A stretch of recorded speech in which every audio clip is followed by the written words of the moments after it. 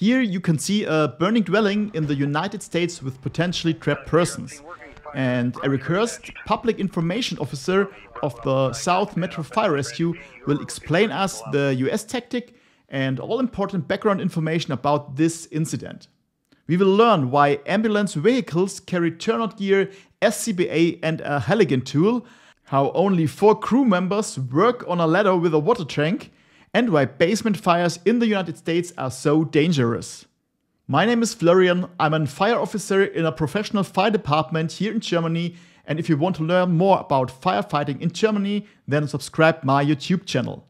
All my videos are in German, but you can display subtitles in YouTube with automatic translation in your favorite language. Hi, Eric. Uh, thanks for joining us. Thanks for having me. Eric, you are the Public Information Officer at the South Metro Fire and Rescue Service. Um, what is your job there? So, my job here at South Metro is uh, Communications Manager and Public Information Officer. I oversee most of the external communications that South Metro does um, which includes our social media channels like YouTube, um, responding to major incidents that occur across the district to be the spokesperson for um, South Metro, and then capturing images and videos of incidents and significant events that happen every day. Okay, that sounds very interesting. And are you also a firefighter? So I'm not a firefighter here at South Metro. Earlier in my career, I was a volunteer firefighter for a smaller rural fire department um, south of South Metro's district. So I was a volunteer firefighter for about five years. Um, okay, great. Okay. And Eric, you, you told it that you, you make uh, videos from the instance and you publish them. What is the idea behind it? Yeah, when I first started in the PIO role about five or six years ago, um, one of my goals was just to uh, enhance South Metro's transparency with our community and have our um, community members have a better understanding of what South Metro does on a daily basis. And of course, one of the most important things that South Metro does is respond to emergencies that are occurring. And um, the best way that I can tell their story to our community members is by showing them what firefighters are faced with so we're lucky at South Metro. We have um, some personnel with helmet worn cameras, and then we have vehicles with um, dash or windshield mounted cameras that can help illustrate what the firefighters see and deal with when they're at emergencies. Okay, and that was the reason why I sent you an email because I found some very interesting um, clips.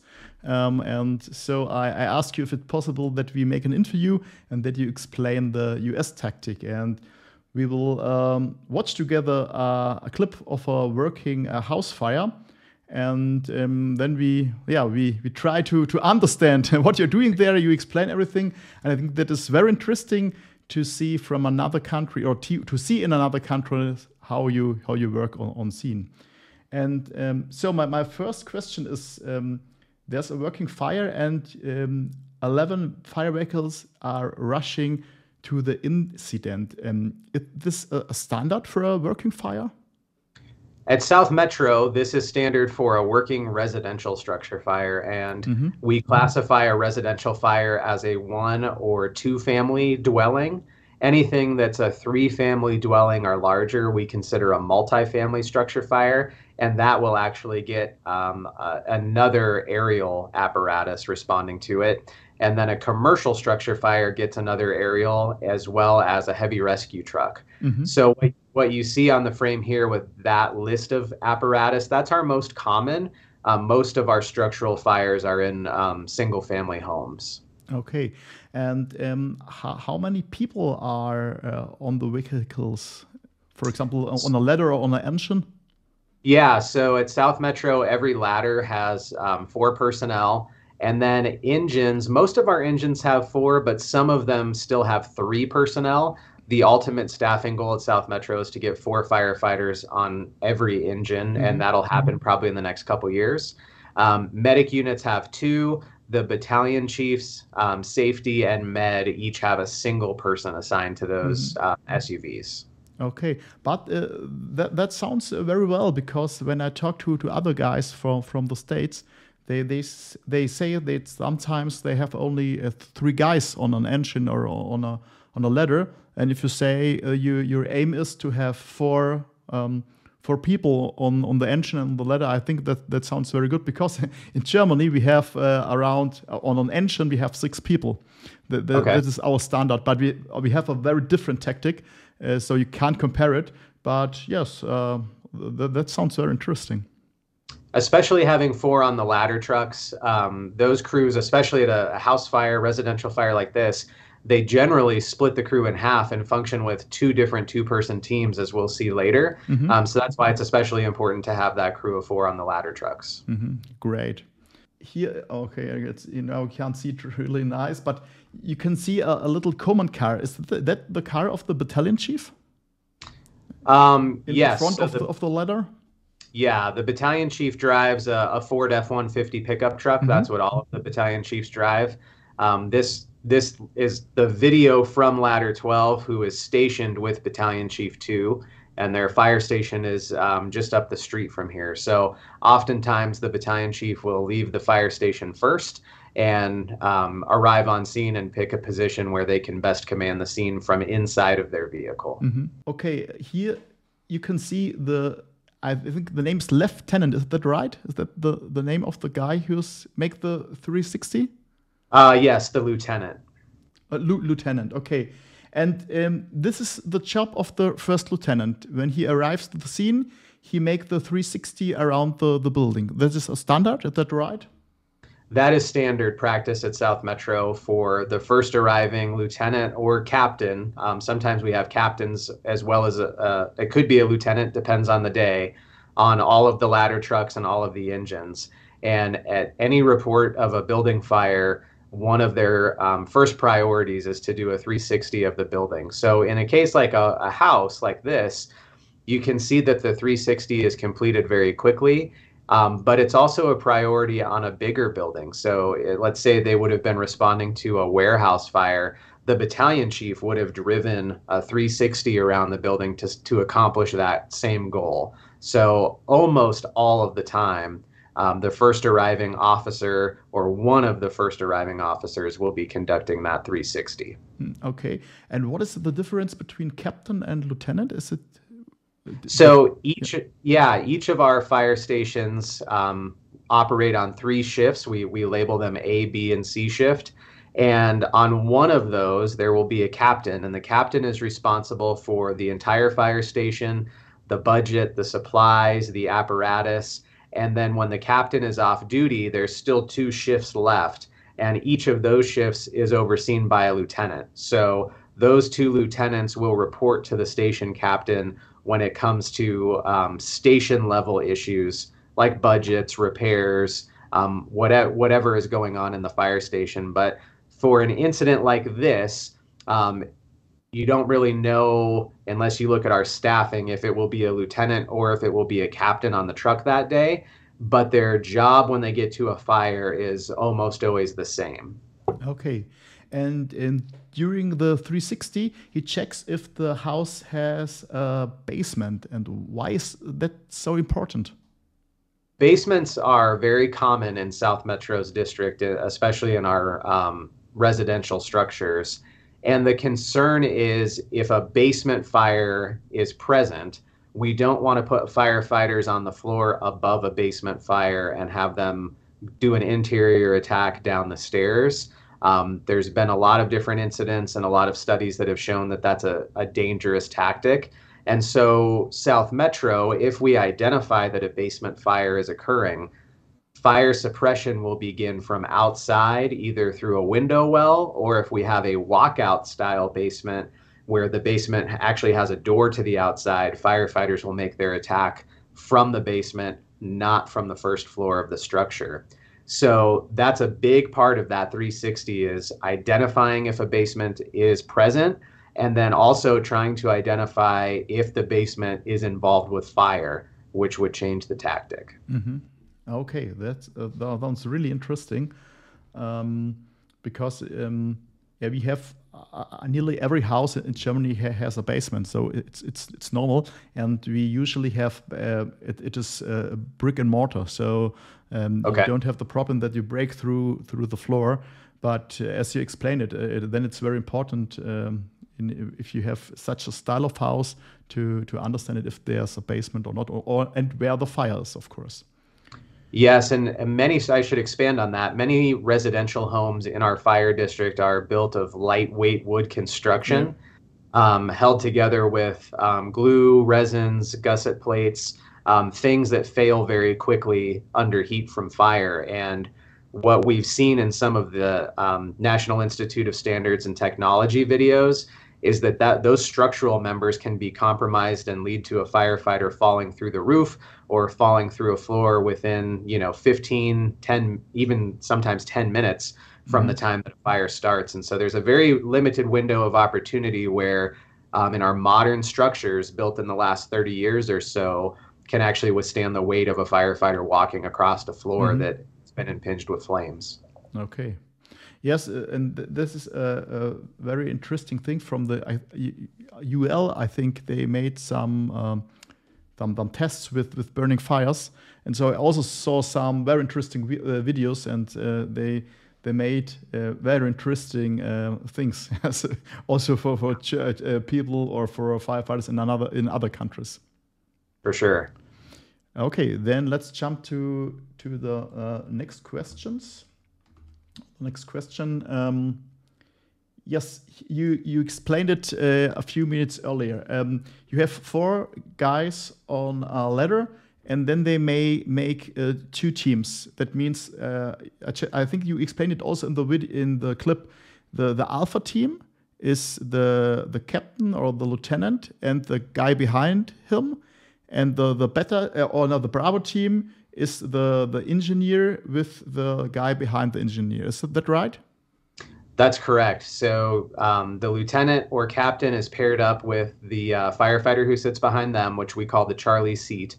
That firefighter is generally um, the newest member of the crew, which is why they're paired with the officer. And most of the time at a residential fire, they will be assigned to primary search of the interior of the structure. And then the Bravo team is the driver, engineer, and the firefighter who sits behind him in the Delta seat. That firefighter is generally the most senior member of the crew, or the most senior firefighter, I should say.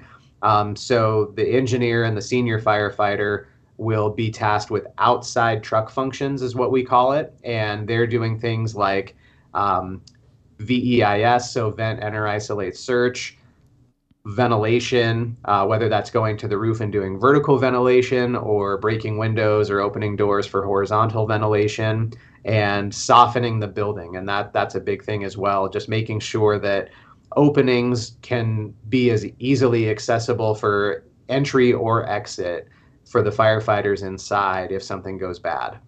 Okay, that's also very interesting for me because um, our team uh, with or the, the team in Germany he goes into the house for the interior attack always has the guy with the most experience. Because uh, in, in our tactic um, we think the most risk is if in the interior tech but you see it a little bit different. You, see, the guy with the most experience is outside to make all the things you explained Exactly. And that um, engineer at South Metro, that the driver position, an engineer is a promoted position, um, okay. but cer- certainly not as high ranking as the lieutenant or captain. Mm-hmm. So they want that engineer to be paired with the senior firefighter um, because they'll be doing tasks outside without mm-hmm. the direct supervision of their lieutenant or captain. Okay. Then you, here you can, you also uh, tagged it in the in the video. You're deploying a 2.5 inch hose line. Is that a, the standard line if you uh, have a, house fire? Generally, we have two options. We have a two and a half inch diameter hose line um, for big water for big fire, and we have an inch and three quarter diameter hose line um, for fires that aren't necessarily as um, intense. So it's a judgment call that um, the incident commander or the lieutenant or captain makes when they arrive, which line they feel is most appropriate. Um, with this house on arrival having a fully engulfed garage fire, we've seen really great success in de- deploying that two and a half inch diameter hose line and doing a transitional attack and um, seeing the the very rapid reduction in heat and flames using that two and a half. So yes, oftentimes at a fire that looks like this, South Metro deploys the two and a half. We get an, an initial knockdown on the fire, darken it down, and then the smaller, more maneuverable inch and three quarter hose line is what gets pulled into the interior um, to complete extinguishment and do overhaul with. Mm-hmm. Now, if we were in a commercial structure, um, the two and a half is generally the standard just to make sure that we're flowing enough um, water to handle the fire load in one of those bigger structures. Okay. And um, you can see also in the video that they start the line uh, from uh, the, the ladder and you, you call uh, the ladder a quint. Can you just explain what, what a quint is? Sure. So um, we define a quint as having five things. Uh, it has a pump, it has a water tank, it has fire hose, it has ground ladders, and it has an aerial ladder. And that's that's the five things that make a quint. And that um, labeling really goes back to the early days of firefighting in, in the US when all of those tasks were separate. Um, we're talking like horse drawn fire apparatus days when there would be just one hose cart. Um, and then the hose cart might be accompanied by the pump or the steam engine. And then there was a hook and ladder company. And so all of those things were separate and as motorized fire apparatus in the United States became more common, um, fire apparatus manufacturers would advertise a triple combination fire engine. And that's what our standard engine is today. So a, a triple is a water tank, a pump, and hose, which makes the engine. And then when we add on the ground ladders, that actually makes it a quad. So some fire departments in the US were, were using the term quad if there was no aerial ladder on top. And then Quint puts all those things together. Okay, that, that's the reason why why a lot of German firefighters love the, the trucks in the states because they are very big and you have everything you need in, in, in one one vehicle. And yeah, we have for forever we have a specialized vehicle. That means we have a kind of an engine, but then we have also a ladder, but a ladder without water tank, um, with without um, ground ladders. There, there's just a ladder to, uh, as you can see it in the in the back here or uh, in the video. Mm-hmm. Okay. Regarding the interior tech, um, the the Alpha team goes inside the house. So the question is, do they need a, a house or a line or something to to come back? Because we have a standard that if you go inside a house, you all you need a a, a line or you you need uh, another thing that you can come back to to the entry. Yeah, I would say that that's most of the time here at South Metro that that would occur, but not all of the time. So the unique view that this fire offered is that the ladder truck was on scene first. And so they're playing the role of what an engine would normally do, which is fire suppression, um, and then they're also playing the role of search and rescue, which is um, the primary function of the ladder truck. So, um, you know, it's important to re- to recognize too that this is just a matter of seconds that this video plays out, um, and the in what we see, the the crew is wanting to do an aggressive primary search as quickly as possible to identify if there's anyone trapped inside. Looking at the behavior and um, the distraught nature of the person outside the home who didn't speak English and couldn't tell our firefighters if anyone was inside, they were going in on the premise that there was someone. And so we we look at um, a model of you know risk a lot to save a lot, and in that case they they were going in with that risk to do a primary search, and the intent is for that hose line to control the fire in the garage, and then it would be immediately going through the front door after that. Um, or a second hose line off of the truck, that smaller inch and three quarter would be. So within a matter of seconds, that hose line would be going through the front door behind them anyway. And their goal is to start searching away from the fire. So part of why that 360 is completed is the lieutenant is remembering where the windows are, visualizing probably how the bedrooms are laid out in that house, and then they start making their way on a right-handed search towards the bedrooms to to go after those. Um, so it's a judgment call that the lieutenant or the captain has to make if they're going to search without a hose line. And in some cases, that definitely does happen.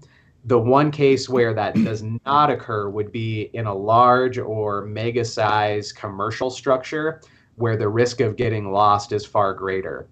And in that case, they will usually anchor a search rope someplace outside of the door and they'll take a rope bag in with them and then follow the rope out if they need to do that, um, assuming that a hose line is not present. But um, kind of wrapping back to, to the question that you asked, I, I think in general, most truck companies in the United States or ladder trucks, they are conducting their searches without a hose line. And especially with the VEIS, the vent, enter, isolate, search tactic, that involves going in through a window, uh, closing the interior door from that bedroom to, say, the hallway, searching that room, and then going out the ladder. So they are used to training for and conducting primary searches without um, a hose line or a rope, especially at residential or multifamily structured fires. Okay. Oh, that, that's very interesting. Um, uh, what you explained and what you also or what, what is also very important that you have a, sp a, specific structure of the houses and you explain it you only have a few minutes and if you wait too long uh, then you, you do not have any chance to to rescue something out of the house so okay it, that's just a, a, short word. Um, they they are talking up. Uh, yes, you can see it here in the video. The Delta helmet cam. Who or what is Delta? Delta is the firefighter who sits behind the driver of the truck. Um, okay. That's the Delta firefighter. So together, he and the engineer. This is kind of confusing. The Delta firefighter and the engineer, um, who's known as the Bravo firefighter, together make the Bravo team, just like the lieutenant eh, or captain is the Alpha seat and the firefighter behind them is Charlie. They make the Alpha team. So what you're seeing is the view from the firefighter who sits behind the driver, um, doing another kind of 360 of the scene to figure out where they need to put ladders and where there are search opportunities. And in this case, um, he was talking to the homeowner or the occupant of the home to try and identify if anyone was trapped so they could prioritize where they wanted to search the house. You see that they check the, the window of the basement. And um, I think the, the construction of the building is uh, brick and mortar. Is that right? Or is everything wood? Yeah, so that's an exterior brick facade. Um, that's that's brick and mortar just as exterior siding but it's actually attached to wood frame structure. And then on the other side of the wood frame on the interior is drywall. So behind the brick is actually combustible uh, wood material, wood framing, and then the floor is also made of wood. Okay, then that that is not as it looks like. Uh, that, that means uh, you think it's brick and mortar, but uh, it's it's a complete uh, wooden building, only with outside with, with brick and mortar. Okay. Exactly. Yeah, it can be very deceiving if you're used to a true brick and mortar structure. Um, it, it, would definitely be a surprise when you opened up the interior wall to see nothing but uh, two by fours and wood studs holding it all all together in place. okay. Then um, the oops, then the lieutenant need uh, another line inside the building. Um, two questions: Which team is responsible for that? The the uh, Bravo team, and which line uh, does the team use? So what um, was difficult to explain in this video is that Medic 12 was also on scene and um, Medic 12's crew, even though they're on an ambulance, are firefighters. They have their um, turnout gear, they have SCBAs, they have hand tools, and they actually took over the hose line for Ladder 12's Bravo team. And it was the medic unit crew that was doing fire attack. So when the lieutenant said that they needed the line inside, um, although you couldn't see it because the camera was black, he just stuck his head out the front door and yelled at the medic crew to move the hose line from the driveway mm-hmm. to the front door and flow water through the front door um, before they continued their search. Okay, this is another question, but now we can, talk about it. Um, the the ambulance cars has also SCBA and turnout gear. That means the the firefighters on the car can put the gear on, and then also they can work on the on the incident as firefighters. Correct. Yes. In addition to their um, fire gear SCBA, they carry a Halligan and a flathead axe for forcible entry. Um, they carry a thermal imaging camera and they carry a two and a half gallon water extinguisher so that they can perform basic tasks on the fire ground um, or they can just be assigned to assist the ladder or or engine. So you'll notice in that um, script of apparatus responding to this incident, out of the 11 vehicles, two of them are medic units because the first arriving medic unit will almost always be assigned to fire suppression um, or search and rescue, some kind of a firefighting task and the second arriving medic unit will be assigned to medical standby. So there's a paramedic, at least one paramedic assigned to each one of those, um, sometimes two. But when they're on duty, they could be still acting as a firefighter even though they're on the ambulance. Okay, and um, is that right that um, every ambulance cars has always firefighters on the on the cars, or is is it possible that uh, you have only a paramedic on the car which uh, has uh, no understanding about firefighting? It depends on where you're located in the United States. Here at South Metro and at many of our surrounding fire districts, all of the medic units have firefighters who are also paramedics and can perform all of the functions. Um, but then there's other major cities in the United States where fire and EMS operate separately. And if an ambulance was to arrive, the paramedic won't have any fire training or any gear to to do fire suppression. So it depends on where you're at. But here at South Metro, all of our um, ambulances, which we call medic units, are equipped with um, firefighter paramedics and firefighting equipment. Okay. I think that's a big advantage, but it's the same in Germany. You have states where you have uh, where it is combined, and you have states where it's absolutely different it can certainly help us with the initial staffing level to carry out tasks. Um, I think this fire is a perfect example where rather than just having the four firefighters on ladder 12, we had the additional two firefighters on medic 12. So a crew of six to, to do more on scene as quickly as possible. Mm-hmm. Okay, the next question is, and you can see it here in the video, uh, they use some ground ladders. And in the background, you can see in the video also a a ground ladder which is uh, on the house. So can you just explain what they do with ground ladders? Sure. So um, I did not include the vertical ventilation portion of this fire in this particular vlog, but what the outside team or the Bravo team was getting ready to do was take a chainsaw to the roof and conduct vertical ventilation. And before that happens, they like to have at least two different ways to get on or off the roof in case something bad happens. So in this case, they've laddered the front of the building with a ground ladder, and they've also laddered the rear of the building with a ground ladder. So when they went to the roof, if they had a problem, they could bail off either side and go down a ladder if something went bad. Um, additionally, if this was um, a different scenario, they, they have more ladders, more ground ladders on the truck where they might be putting ladders to windows to allow the interior crew who's doing search and rescue a safer way to exit if something went bad. Um, in this case, the windows aren't very far off of the ground, probably only six to eight feet. Um, so that wasn't as much of a priority as if, say, it was a two story or three story building, then we would want ladders to the second and third floors if firefighters are up there and, and working in those conditions. Okay. And is it also standard that you use vertical ventilation on the, such fires, or it, it, it, depends? It definitely depends on the structure. Um, in you know this example, this was a first floor garage fire, and there was fire extension into the attic. And um, vertical ventilation is especially helpful with attic fires.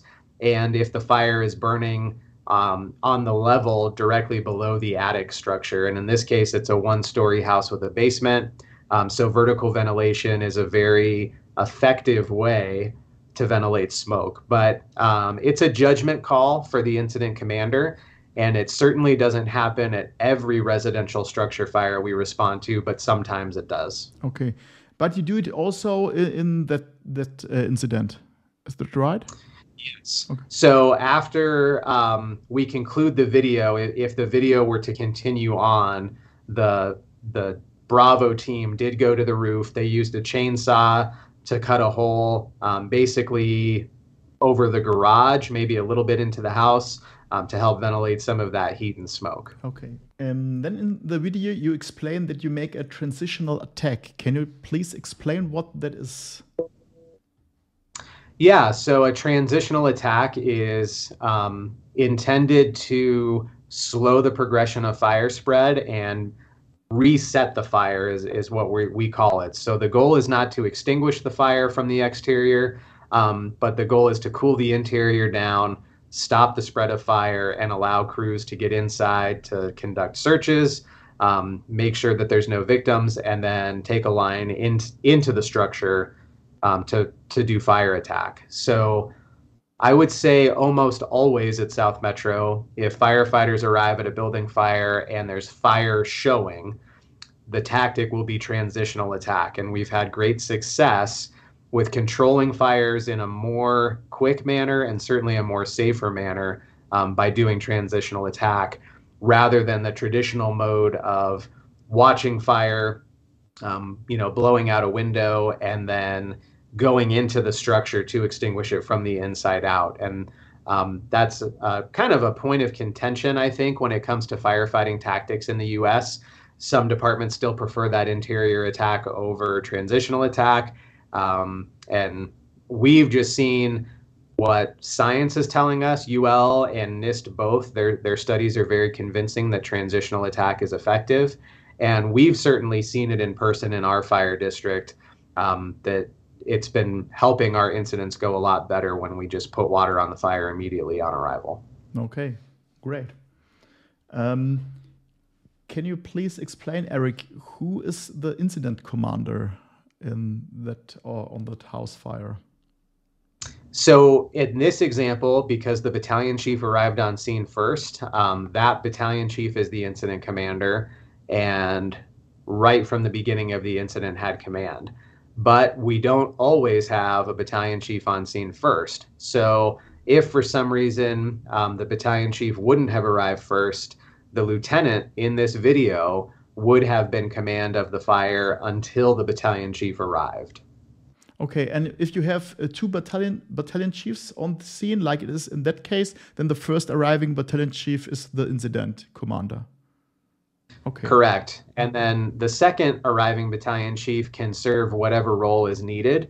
Um, generally, the incident commander will assign the second battalion chief either to a division, so to take over supervision of a smaller area of the incident.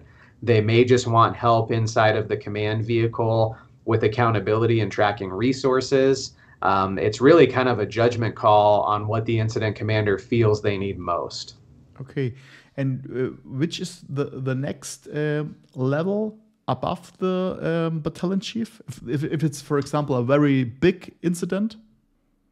The next level up is district chief. And here at south metro we have one district chief who oversees all activities and, and the, the entire fire district for the day.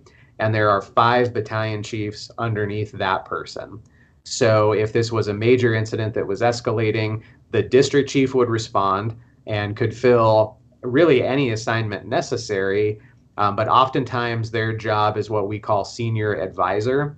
And the senior advisor will sit in the back seat of the pickup truck and just be there as a mentor and to look at big picture items. So if an incident will be stretching for hours, the senior advisor might be looking at how we're going to be covering the fire district and the rest of the emergencies happening.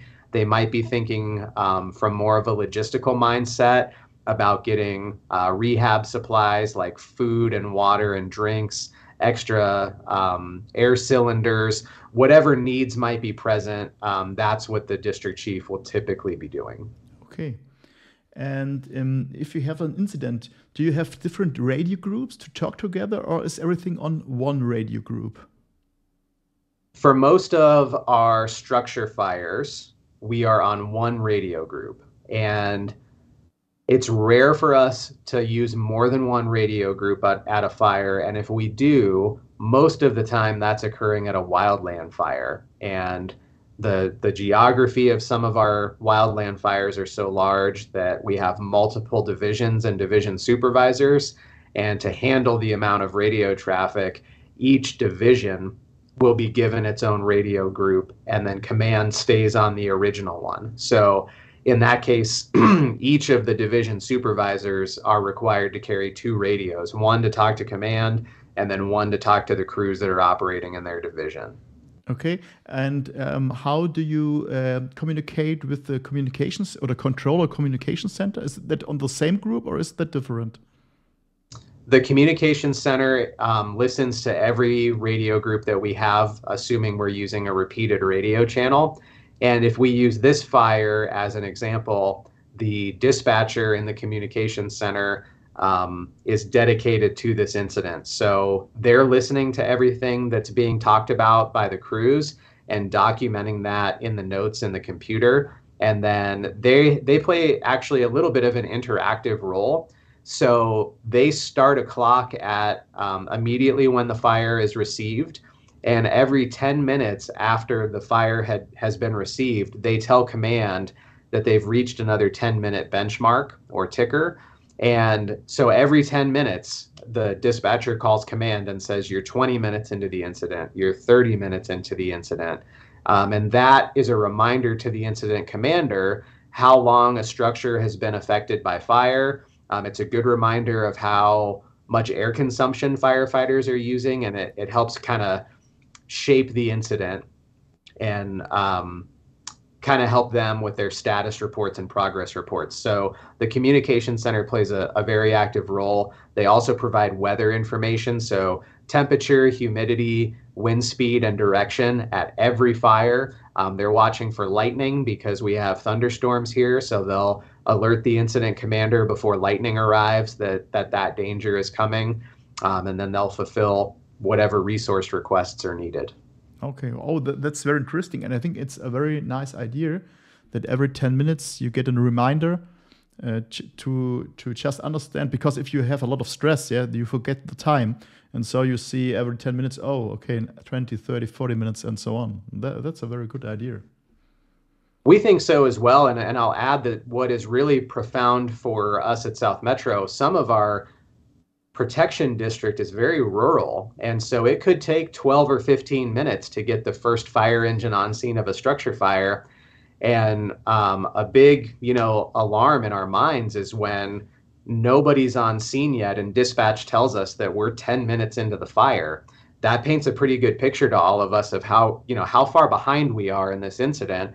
And especially if it's modern construction, we we may already be worried about structural failure as soon as the fire engine arrives. So that that time, that benchmark is very, very important. Mm-hmm. And some fire departments in the US start that 10 minute clock when crews arrive.